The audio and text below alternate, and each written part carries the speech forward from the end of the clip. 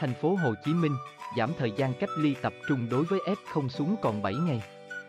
Ngày 14 tháng 12, Bộ Y tế đã đồng ý cho thành phố Hồ Chí Minh thí điểm giảm thời gian cách ly tập trung xuống 7 ngày đối với F0 không triệu chứng. Đã tiêm 2 mũi vaccine và có kết quả âm tính vào ngày thứ Bảy. Trước đó, Sở Y tế thành phố Hồ Chí Minh đã đề nghị Bộ Y tế cho thí điểm rút ngắn thời gian cách ly tập trung xuống còn 7 ngày đối với các trường hợp F0 không có triệu chứng. Đã tiêm đủ 2 mũi vaccine và có kết quả xét nghiệm âm tính vào ngày thứ Bảy. Theo công văn gửi Sở Y tế thành phố Hồ Chí Minh ngày 14 tháng 12, Thứ trưởng Bộ Y tế Nguyễn Trường Sơn đánh giá, hiện tình hình dịch bệnh COVID-19 trên địa bàn thành phố Hồ Chí Minh vẫn còn diễn biến phức tạp, để thích ứng tình hình mới và bảo đảm an toàn, linh hoạt phù hợp với điều kiện và nguồn lực của địa phương, Bộ Y tế đồng ý về việc thí điểm rút ngắn thời gian cách ly tập trung F0 xuống còn 7 ngày.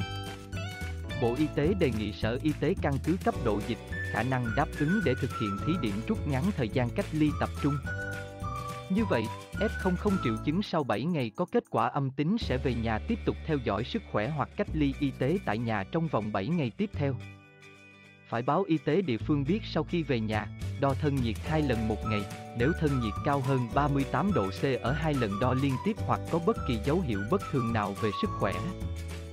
Cần báo cho y tế địa phương để thăm khám và xử trí kịp thời. Bên cạnh đó, F không cần tuân thủ thông điệp 5K, hạn chế tiếp xúc trực tiếp với người khác trong thời gian theo dõi 7 ngày tại nhà.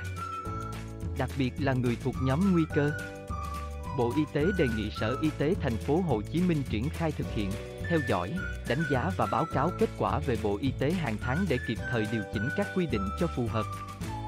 Từ 16 giờ ngày 13 tháng 12 đến 16 giờ ngày 14 tháng 12, trên hệ thống quốc gia quản lý ca bệnh COVID-19, thành phố Hồ Chí Minh ghi nhận 991 trường hợp mắc mới.